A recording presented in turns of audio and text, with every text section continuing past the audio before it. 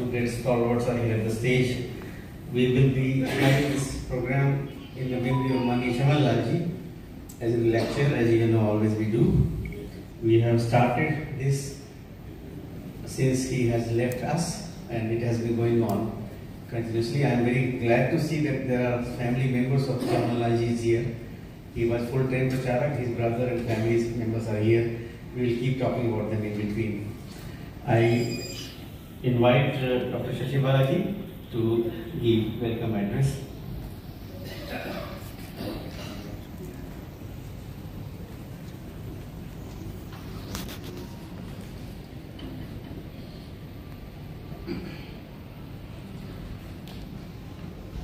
आदरणीय श्रीमान गुरुमूर्ति जी श्रीमान मनोहर शिंदे जी रवि जी इस सभागार में उपस्थित आप सभी गणमान्यों का, राष्ट्र को समर्पित आप सभी का के प्रति कोटि नमन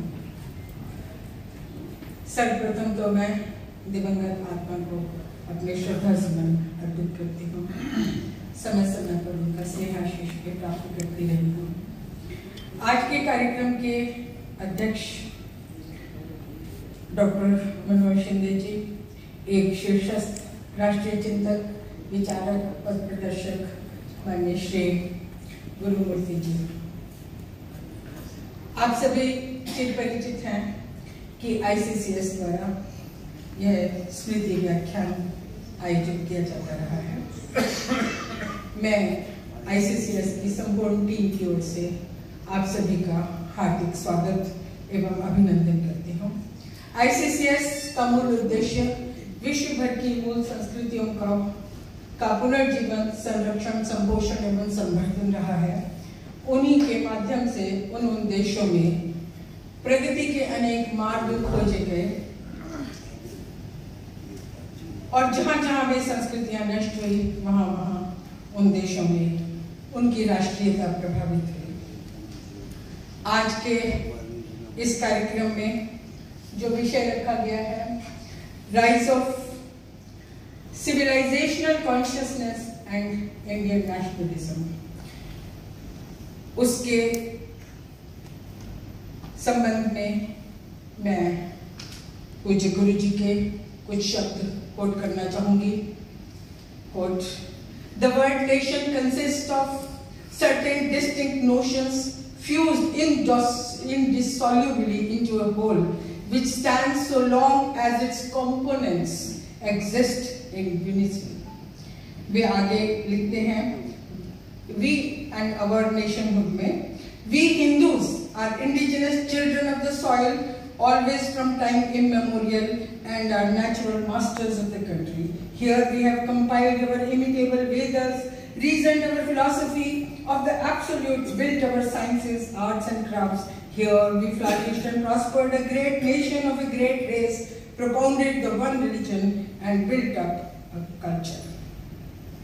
आज हम भारत की मूल संस्कृति एवं उसके माध्यम से राष्ट्रीयता के पुनः जागरण पर मनन चिंतन हेतु एकत्रित हुए हैं अखंड राष्ट्रीयता के सभी तत्वों के आधार पर आदिकाल से गर्व से खड़ा यह दिव्य भव्य भारत विश्व कल्याण के मार्ग प्रशस्त करता रहा है।